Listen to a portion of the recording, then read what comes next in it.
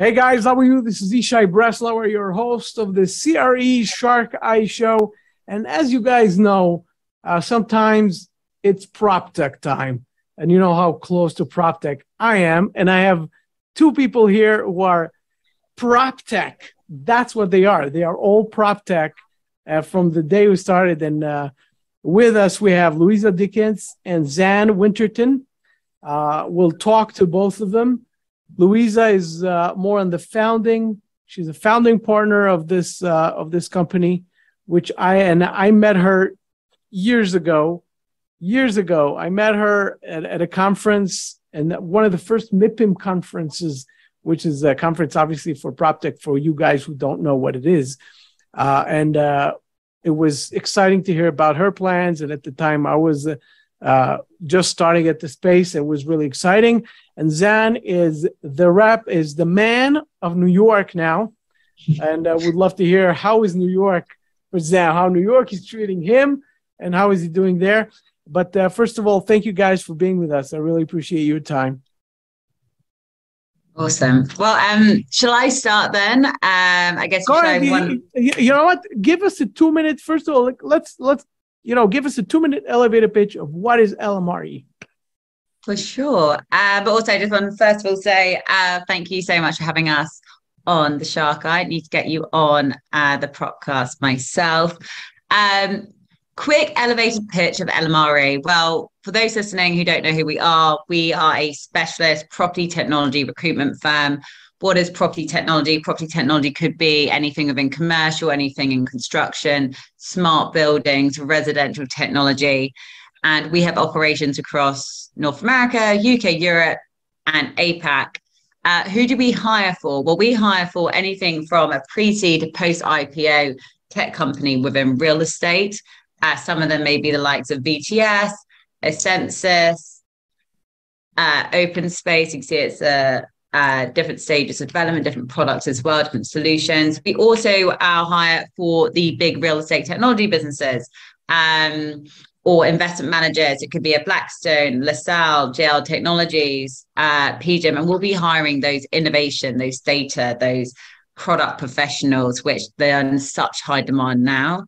And then we also partner with the likes of Fifth Wall and Metaprop and help them tie in their portfolios. So it's all things around recruitment, all things around talent, all things around businesses scaling. And one thing which I've learned since setting LMRE up is that uh, recruitment is on every founder's mind. It's on my mind as well. We're a team of 50, but my God, it has taken wow. a long time to get those 50 cool people. But we have some great people in the business, like wonderful Xan, uh, who is joining us on the podcast too. But um, Xan, do you want to introduce yourself a little bit as well? And then I'll give a background to, I guess, why why we started at LMRE. Go ahead, Xan. Um, yeah, of course. Yeah. So thanks again for, for having me on here, Yishai. Uh, so, yeah, so I'm Xan Winterton. I'm the managing director of North America at LMRE. And I, uh, so I've been at the company for, for two and a half years and I was actually introduced to Louisa through through a friend when I was out here last in, in New York. So I previously worked at actually a cybersecurity startup called Tessian, uh, which I joined in London, and I worked there for for a year. And we got backed by Sequoia Capital, and with that funding, uh, we sort of went to, to the US. And for some reason, they asked me to, to join the head of sales to help set up operations there. and um, anyway, I was, I was working sort of on the sales side and operations and love, love technology, but I was, I was actually more interested in the people side and had a few friends in recruitment and got introduced to, to, to Louisa and, and Richard. And they said that they were looking to, to really develop and expand uh, on sort of existing client base uh, in North America. And after hearing the pitch, I was immediately bought in and uh, joined the business, and and sort of we've been growing pretty pretty dramatically ever since. How could you not get um, excited about them? And uh, now you're part of the group. Now you're part of. But do you know? Do you know what I find like so shocking? So we like if you look at I guess those listening, if you look at prop tech, the North American technology scene is so far ahead of what's happening in Europe and in APAC as well. So some I'm banging my head against like the wall. I'm like, why did I start in the UK? But um, Xan joining, it's uh, we're now seeing more clients from our um, our new, not even new anymore, clients in the US now all scaling across to Europe, and now others that are looking at APAC. So it's been extremely interesting uh, following the trends and the growth of these businesses and watching the M and A. But um, no, it's uh, loving in this industry and those listening in to this from obviously maybe shows like fintech friends and um, definitely check it out because it's um it's a cool space to be in. It is. And i'll tell you something what you just mentioned about you know in america of course it's, it's still the rome of our time. Everybody's talking about change of times change of the imperial i guess the imperial ship you know um etc mm. but it's still america without a doubt and um and uh yeah and that's where Xan i guess is there in order to get the most out of that market. But the global aspect is very much there and i would like to discuss it in a second. But before we get there mm-hmm. louisa let's go back in time into the point where you and richard started this thing. What got into your head and how what what? You know what? Let's go even further back to your career in order to understand what got you to this point? Yeah, for sure. So I went to university. I studied geography over here in the UK. If you study geography, you go into real estate. And geography, you look at obviously there's the uh, social side of it, there's environmental side. So without knowing when I studied that, I was going to be interested in obviously property and technology because as we've seen and read, all the effects of climate change on the built environment. So uh, somehow I actually didn't even realize, but I was already interested in this space. But um, Richard and I uh, were building a real estate exec search firm that focused on hiring traditional uh, real estate folk into the Jones Lang LaSalles, the CBREs, the Savills and Knight Frank. Now, my brother is an asset manager in real estate, and I just catching up with him one time after work. And I, Jenny was baffled at how he went about his day to day about using technology. Um, he started saying, Hey, you need to check out these products. One was um, Demand Logic, one was Smart Spaces. I mean, there's some are in the US, some aren't. But I went and spoke to these like founders, and I Jenny was like, I was like, this is the future. How are these real estate folk going to do their day to day jobs most cost efficiently? Um, and like quickly without using this technology. So then I started, hey, there's definitely um, there's definitely going to be a growth in this market. Same thing as fintech. Started going to some cool conferences out there. We had the likes of obviously shout out to Michael Beckerman's Cretech, the MIPIM ones, which were and when I met some more cool founders across all verticals and said, hey, I was speaking to these founders, they are all struggling to find that talent to grow their their own product, but also all my old clients from my traditional real estate recruitment days the JLL, CBREs, and so forth, all their HR were like, keep uh, being told that we need to hire data professionals, uh, engineering people. They'd be like, how, where do we hire them? So we started getting new mandates to hire this whole new skill set into real estate. Um, we are being asking questions about how do you um, make the business more, I guess, culturally aligned to these new remote uh, professionals, the new technologists of the world. And luckily we did that in 2018 so four years of traditional real estate recruitment pivoted in 2018 and my god it was the best thing i ever did. We had a year to really get out and go to all these events like i mentioned before. Michael Beckerman was very kind to me and let me co-host dinners the likes of jb at camber creek and Zigg at uh, and david Zigg capital who all gave me these introductions and the understanding of how big and vast this space could be and already was. Then we went to lockdown, and obviously, as we've all spoken about and heard in every single webinar, uh, COVID has, uh, I guess, forced the real estate world to digitalize, adopt products, but also a flow of investment going into this space. And good thing for that is that I'm sure we saw loads of um, people in the traditional real estate world, unfortunately, lose their jobs during COVID. You know, people were furloughed. Some people haven't all come back, but we've seen a massive growth, and we can share some data on this later of people with these new skills, these new, uh, like I said, the data scientists, the engineers, the real estate staff people. So where there's been jobs lost, there's been new, uh, more new techie, if you like, jobs uh, created so that's a bit about it. I love it. I love meeting new people and I love learning about new product every single day. And but I am sick of using the word prop tech, but and so are my friends, but but I'm sure there's new a phrase will coin sometime soon. I think I think the story is so amazing. And when I think back at it, I remember now I remember when we met at that conference and mm. I was asking and uh, it, with some people, I had very short conversations, and obviously, I don't remember them. And some people, I had long conversation. With you, I had a very long conversation because you came and said, "I think that we're coming to revolutionize this whole uh, industry called prop tech because we're coming and there's placements going to be needed, etc." And and I was thinking because you know when you train yourself to think i'm also coming from real estate i'm a real estate mm-hmm. guy i'm a commercial real estate guy but when you come into prop tech you start pivoting your brain to start thinking in innovative way, right? And then mm-hmm. someone's telling you, listen, I want to come and disrupt the market with placement, and you're thinking there's nothing much to place at this point. What is going to be? They're probably seeing something I don't, and he obviously did. And uh, and it's amazing.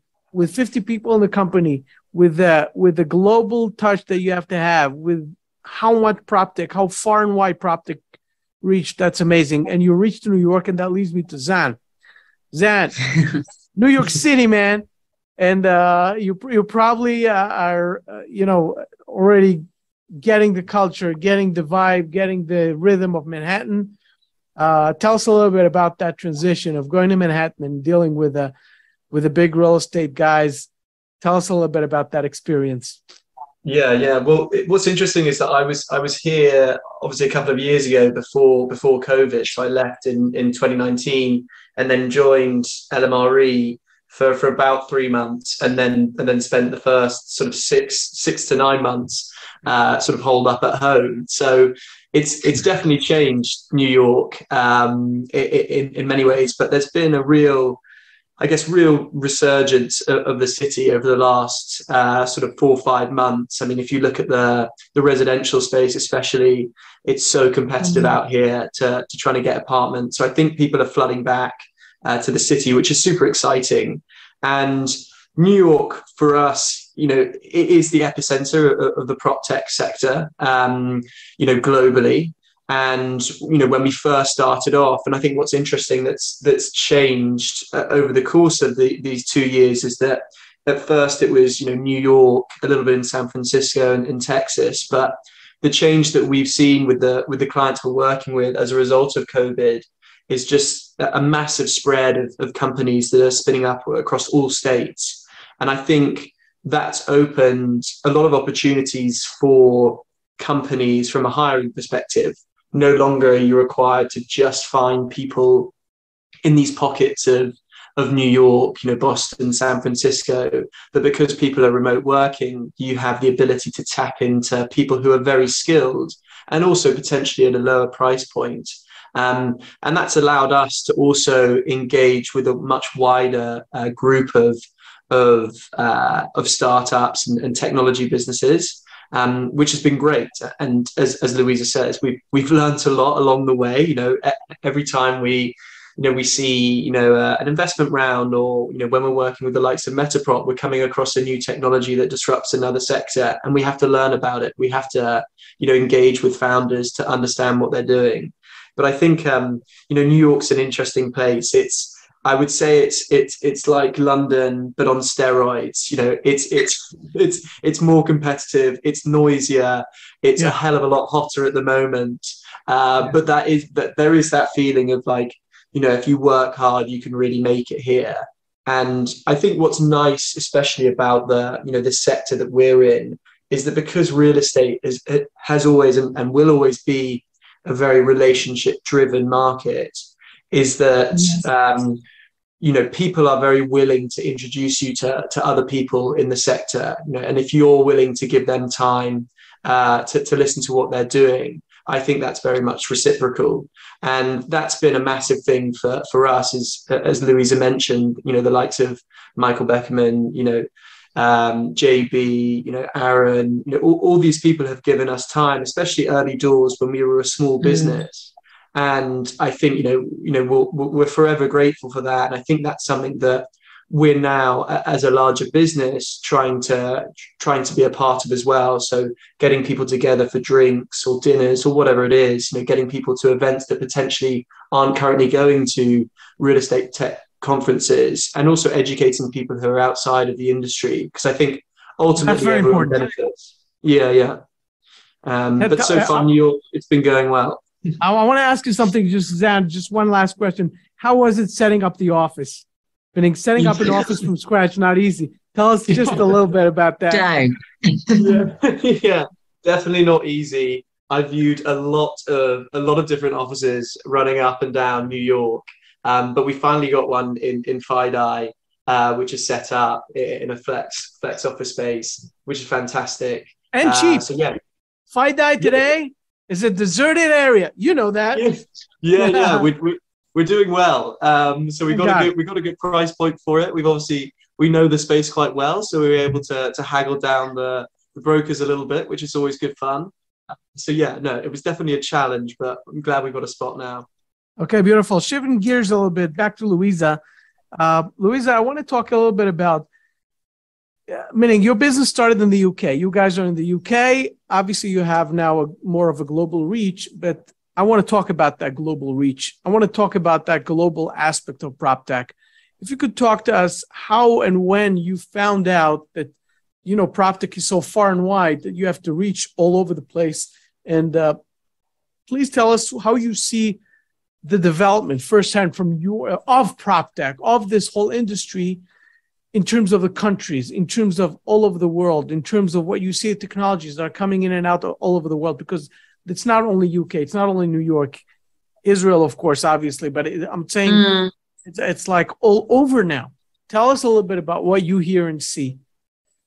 Yeah, well, I think it's like the obvious, the most amount and the the largest valuations, the largest amount of investments are all coming out sort of North America with. I mean, we all know the brands there as well. Uh, the hotspots where we've sort of um, set up and we're seeing a huge amount of growth. Obviously, London is the, probably the big one for Europe if we even count the UK part of Europe. I guess some people don't, and technically isn't. But then we've seen a huge growth in Berlin, uh, Paris. People usually go if they're going to set up, they go UK, they go Berlin, they then go Paris.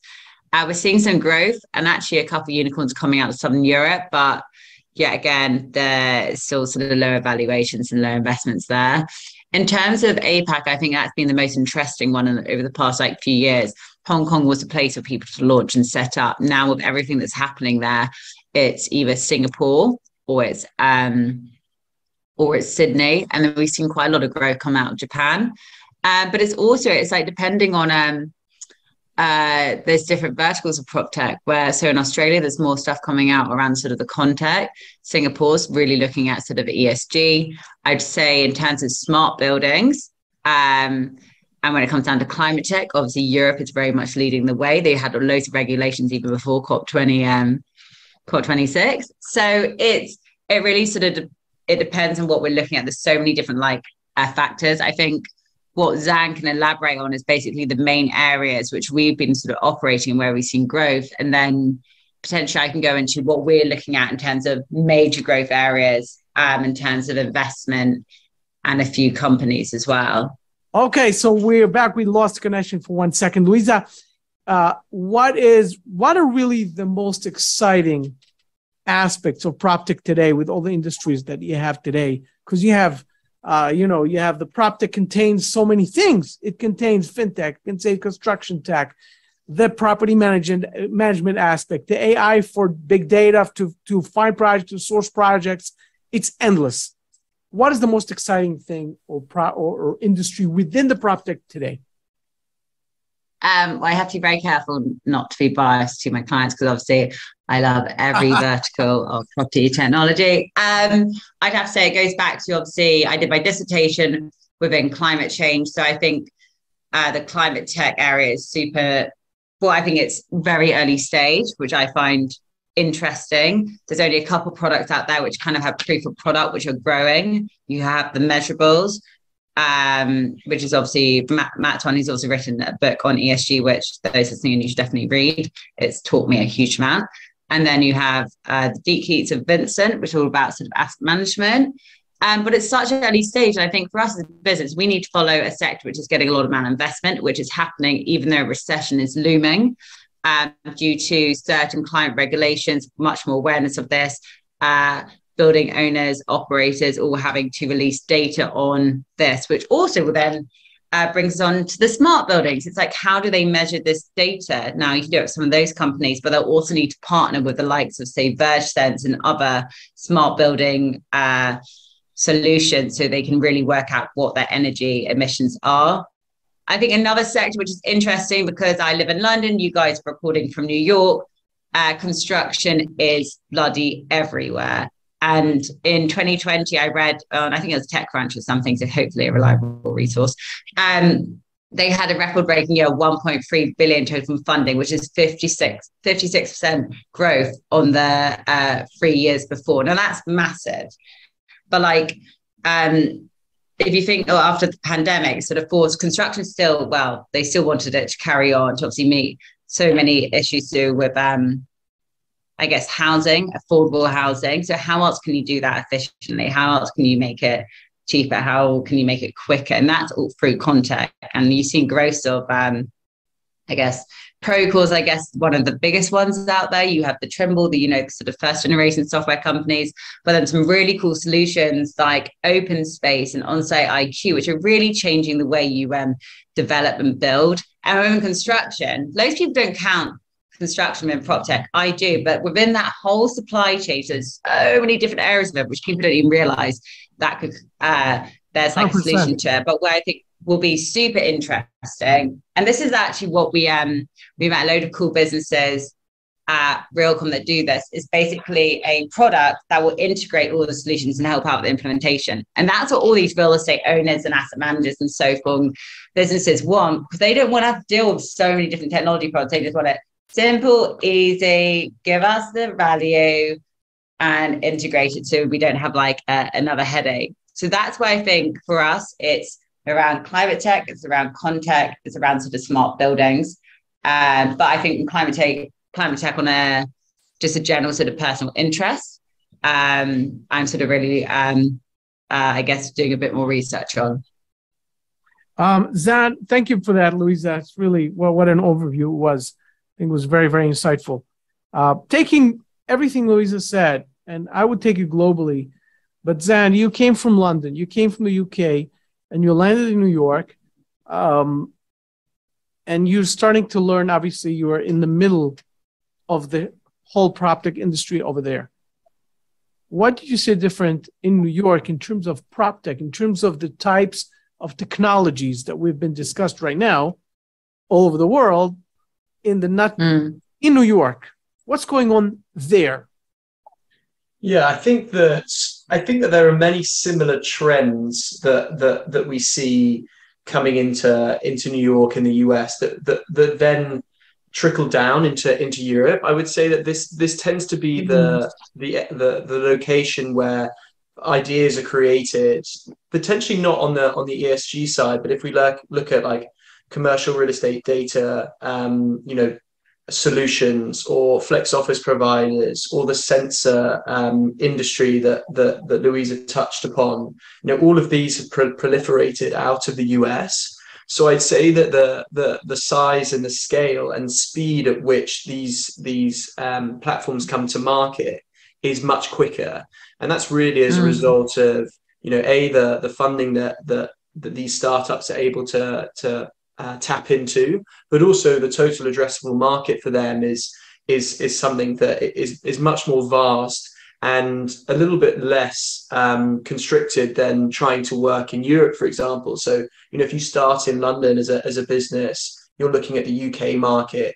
If you then want to expand to to, to the rest of Europe, you need to have people that understand the regulations of Germany, be able to speak French, understand how you know Italian business works and that's a real challenge. Mm-hmm. Whereas in the US, you know, you've got 360 million people that also speak the same language, and you know, often they're having common common problems. So I think you know a lot of the the issues. Well, I think a lot of the opportunity here um, does get replicated in, in, in Europe, but it just happens at a slower pace. And I think the same can be you know said for you know the, the, the Israel prop Israeli prop tech scene. You know, we we work with lots of Israeli prop techs that that start in Israel, uh, and their natural uh, route to market is once they've got their product and they've built it out in, in Israel, is to come to the US because there's such that flow of technology. Um, and for them, that's the big market to to really expand their business and and put their name um, on their product. So I think that we see the trends, you know, coming from the US and they replicate in, mm. in UK and Europe. Um, it just takes more time. You know, I would say within the US. Go ahead. Go ahead. Sorry, I really want. I really want to make a point that in the US, it's a cultural thing. US uh, people have a far bigger appetite for risk. In the UK, we're a lot slower. We'd give like slow nose. I'd say in Germany, they're a lot more sort of direct. Uh, France is a hard market to break in, especially if you're not hiring to local people. In the US, they'll they have bigger budgets. They're more um, tech forward, if I can say it, but they are more uh, happy to sort of take risks in businesses. And if it doesn't work out, it's fine, they go on to the next one. So I completely get why businesses from whether it's Israel or the UK or they their first market they want to go to and try and break through is the US because obviously the sheer size of it, but the um, there's a higher chance that some will take a punt on them, even if uh, their product's not completely ready.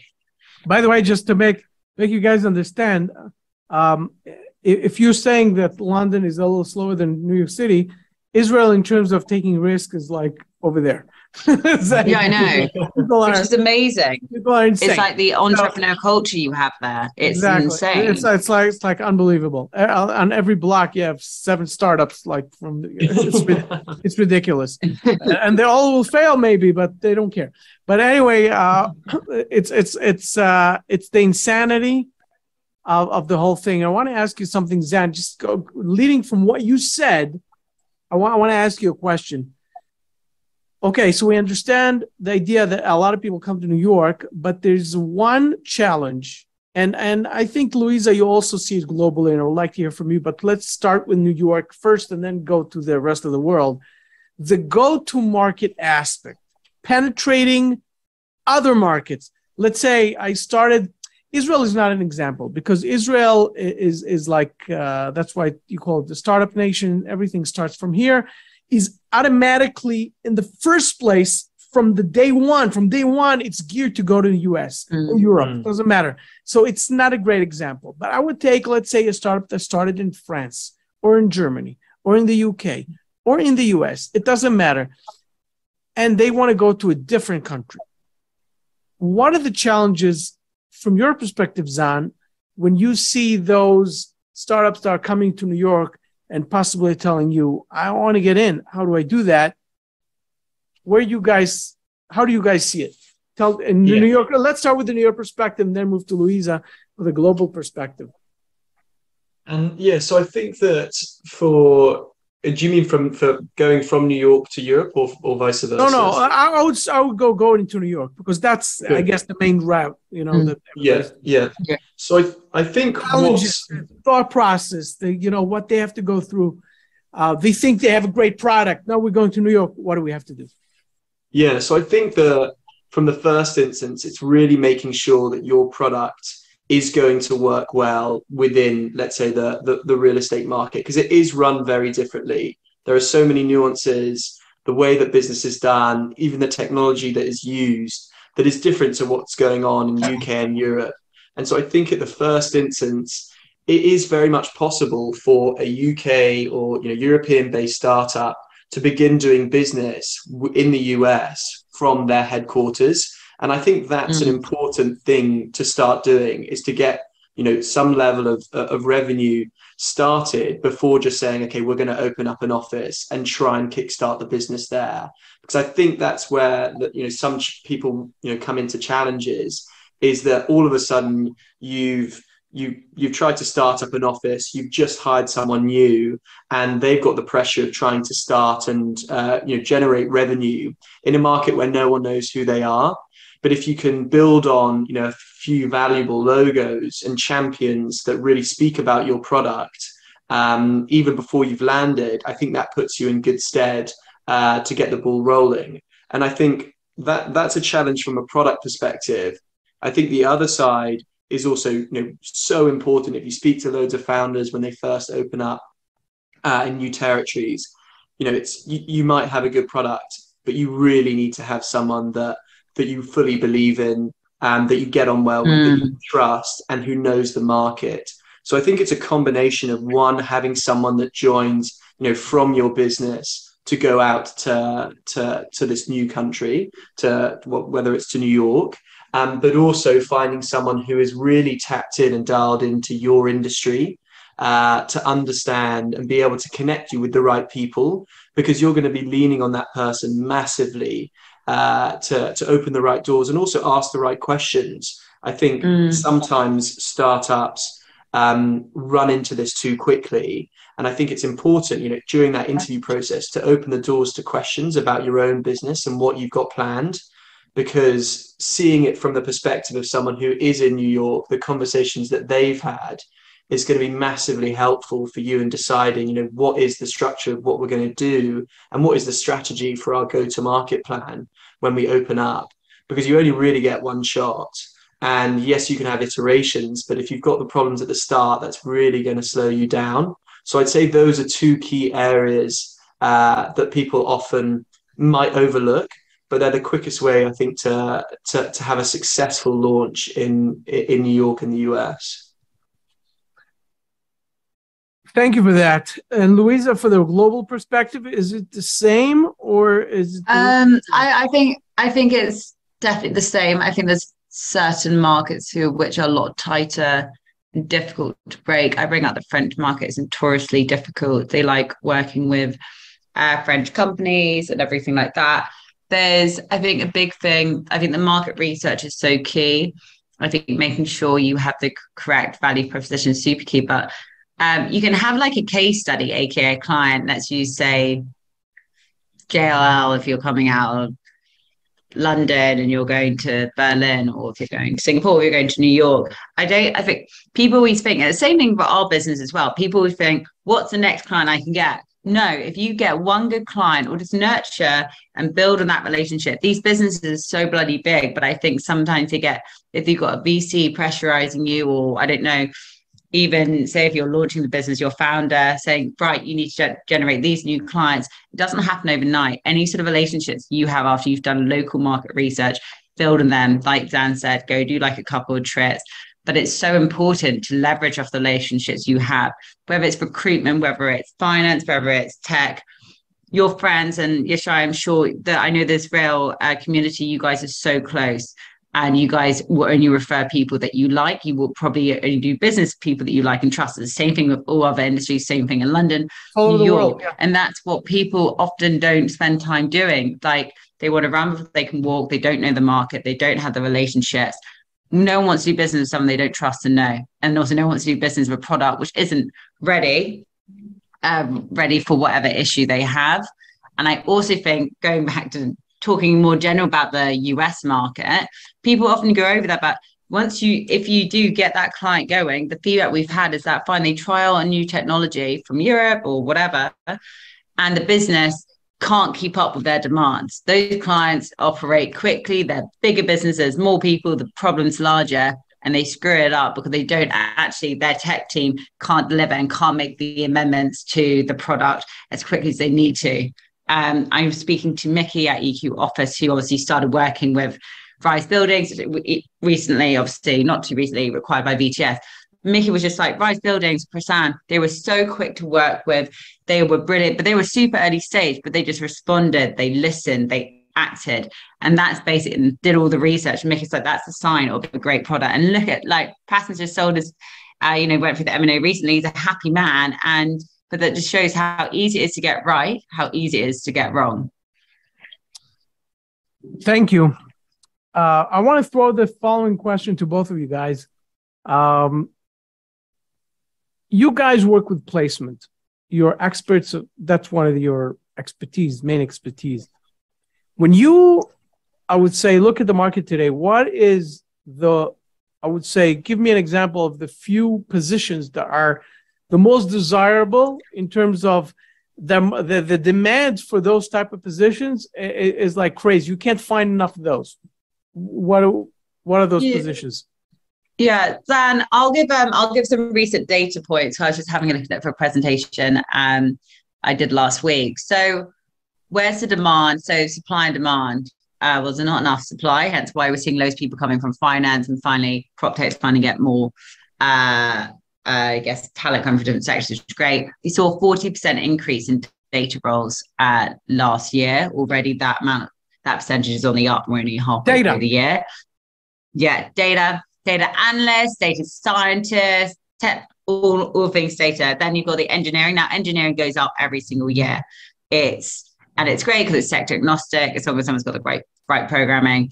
That's like uh, that. Everyone listening in, no one's gonna, no one's gonna be shocked by that. We, saw a twenty percent increase in innovation roles, um, which is that's obviously across the investment managers, the consultancies, the agencies, but then obviously the real estate SaaS. Uh, everyone's looking for them as the prop tech scene grows. As um, businesses like JLL Technology, CBRE host of building products in house, they need real estate software people. That was up 50% last year. But then a big thing as well is the ESG side. That's up 60%. These, you know, Blackstone, I think two years ago didn't have a, a sustainable ESG team. They had two people two years ago. It was 12, I think, before Christmas. Now it's, do you see what I mean? These businesses, it's a whole new set of like uh, talented, uh, new skilled individuals. And that's where we're seeing the largest growth. Xan can probably go into a bit more details. He's doing the placements and on the ground. Can answer yeah, any questions around that for you. I think one of the the areas that we're getting you know discussions from for startups which is fantastic is on on the diversity side. Um, so you know mm. getting more you know women into you know into prop tech um, you know also from uh, different backgrounds i think that you know finding or getting strong you know female sales leaders into the space you know that they're, they're really hard to come by but they're in really high demand and it's great to be having these conversations and i think that comes from you know the education of the industry if you look at the the fintech market there's still so much work to be done there but it's changed dramatically over the last mm. 10 years. And I think that, you know, prop tech uh, is still, you know, early on in its uh, in its journey um, in development.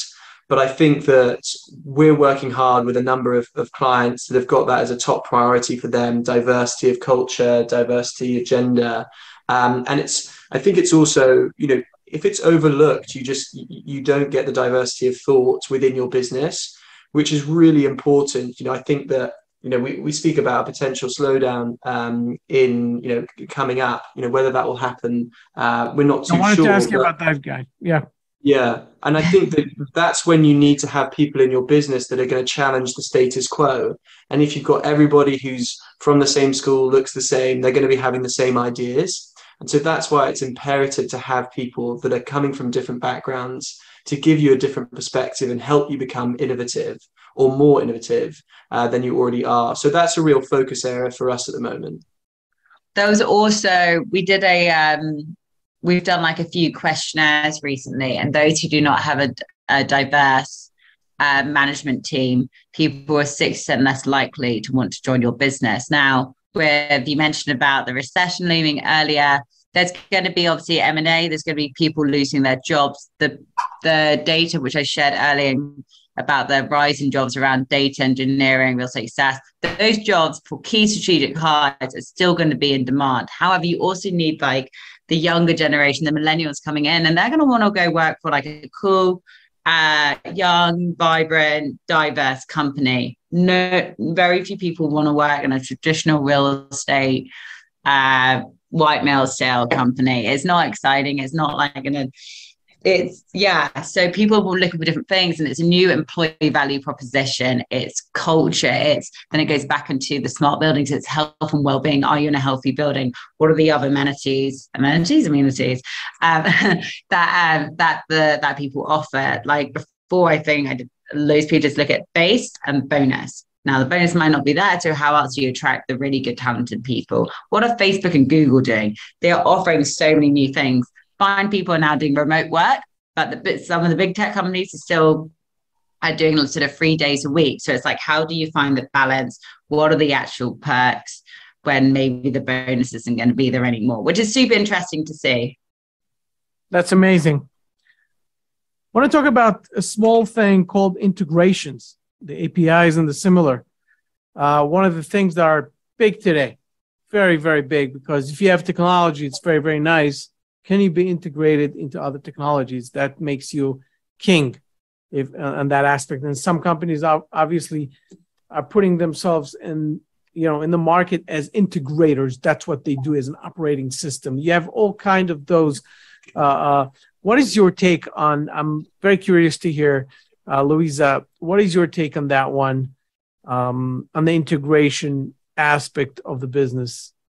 Well, we um, well that sort of uh, Xan. That's sort of my sort of point I was making earlier. at Realcomm. like uh, that was actually we met like quite a few businesses um, that were doing a good job of that, and, a lot of the, our clients on the uh, agency asset manager side, they're all saying they want like a product to just help them sort that challenge out where they're using so many different products and to have a str- have struggle integrating and not only because they don't have the in-house capabilities to properly do it and roll it out but equally there's it's just a bloody nightmare. The processes aren't there, the systems aren't fully there in house and externally. Xan, is there anything which you want to build on on that?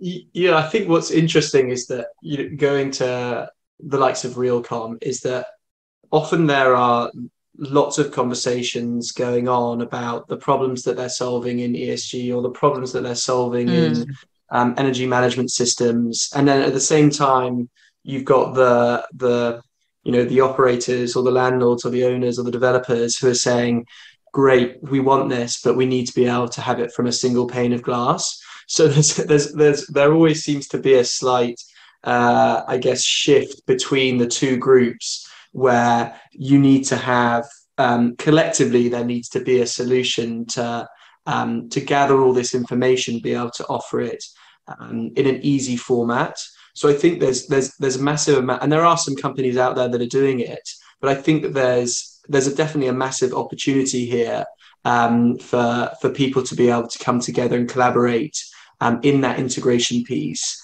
But I think what's interesting is that you know while there is still um, potentially not that um, uniformed integration, there are lots of companies that, as a result, have you know are able to access you know new revenue streams whether that you know from a consulting aspect uh, which kind of feeds off ironically this inefficiency of efficiency within real estate technology. Um, and you know i think that will always continue. You know we work with lots of people that that do work on yardi implementations from a consult uh, consulting practice. New technologies that start up that work on you know energy efficiencies there will be people who are specialists within that so I think there will never be a perfect um, like integration for one and all, but there's definitely more work that, that needs to be done there. Uh, John, I want to ask you something. You're in New York. The walk and talk about recession coming up, and we touched that a little bit. But I will. I would like to hear from you. Um, what is the walk and talk in terms of the commercial real estate industry, and how do you think it will affect uh, the prop tech? Meaning, it's a drop down type of uh, type of a, I guess, reaction. Uh, yeah. How do, you, how do you see it? What do you hear? Yeah, I think that um, you know you always say that misery likes company, and I think people like to talk about recession more than anything else. They'll probably talk themselves into recession before it actually happens, and I think that You're right. you know, you know, nine 12 months ago covid was the worst thing that ever happened and then we saw you know so much innovation that, that came out of it there's many companies that that was started. I know that you were mentioning earlier, Yishai, uh, a number of businesses, you know, Microsoft for one that came out of a mm. recession. Um, so there will be innovation as a result of recession. You know, when the the belt starts to tighten, you have to become more productive and innovative. Um, I think that there is, you know, certain companies that are that are actually missing out on great opportunities from a talent perspective mm. by holding fire over the next like two three months. So we've spoken to some that are saying we, we, you know we might pause for now whereas others are aggressively looking for people. And actually there are people out in the market that are looking to make moves into interesting companies. And i think that while there are we've seen adjacent industries you know if we look at the fang stocks you know the netflix of the world the facebooks who are putting the you know pumping the brakes on hiring those businesses have grown dramatically over the last 10 years and potentially you know they were overinflated stock prices you know some fintech businesses that have grown massively Um, and that's a reason why they're starting to get rid of, uh, of employees. But actually, the, the prop tech sector is, is, is very much in its infancy. If you look at the amount of investment that's between seed and Series B is huge in comparison to other sectors. And I think for that reason, uh, there's going to be continued growth in the sector. And not only that, but they're going to benefit from potentially this this excess, um, in, you know, employees or um, candidates that are coming from adjacent industries with potentially crossover and transferable skills um, that fit nicely into the, you know, the the fintech real estate market. And I think that will benefit, you know, what right now or the past six months has been a very candidate driven market. They'll have more opportunity to take uh, or cherry pick uh, more talent. So I think it's a, uh, it's definitely dependent upon the mentality of, of your mm. founders and your investors. So I think you can you can decide to either you know hole up and uh, you know batten down the hatches, but there will be other companies that are a starting up during this you know during this potential downturn, or also aggressively going after um, their growth. And if you're stuck by the wayside, you're not innovating your product, then actually I think you're going to have a hard time coming out of it um, when the taps turn on and everyone wants to do business with you. So I think that's a really important aspect to think about is like, what is your strategy going to be over the next six yeah. to nine months? Because a lot of people are, are still pressing go. 100%. Uh, you guys, we're getting to the point where we have to say our goodbyes. I could speak about PropTech with you guys for like three days, just like that. It's just so much fun. So I appreciate it. I appreciate it. Uh, uh, you guys are listening. We're here with Louisa Dickins and with Xan Winterton from LMRE, an amazing company that started with PropTech. When PropTech pretty much was PropTech, they are there helping everybody uh, with placement, with business development, you name it. And uh, you guys can see the links above below. Uh, guys, if you want to tell us how they can find you. Yeah, for sure. Uh, go to lmre.tech.com. Is that it? Oh my God, I haven't seen my email just out for ages. is that, is that? It's, oh I'll, I'll, come in and save you, Lou. It's just lmre.tech. Uh, so God. head there. We're on that website. Um, lmre.tech. Yeah, maybe don't reach out to Louisa. She might not. She, she might not know where she is. um, or you know find us on linkedin um, shoot us an email we'd love to chat even if people are interested interested in just learning about the the sector if they're not they're not in it already um, we'd love to have a conversation that is thank beautiful. you Xan for saving the day 100% i loved having you guys and uh, i really enjoyed this conversation thank you so much for being with us thanks Shai. so thanks stick around for another minute and I'm going to say goodbye to everybody. Guys, I hope you really enjoyed this conversation and you learned something from it. There's much to learn. I even suggest you take it back and listen to it again because you learned, I'm sure you're going to learn so much from it. Um, and of course, I'm going to see you guys in the next show. Take care of yourself.